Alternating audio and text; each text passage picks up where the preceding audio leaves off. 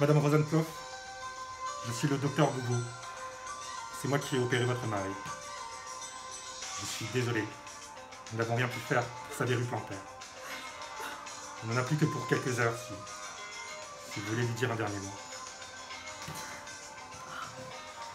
Oh, mon chéri. Tu veux dire quelque chose? Il faut 蓄力啊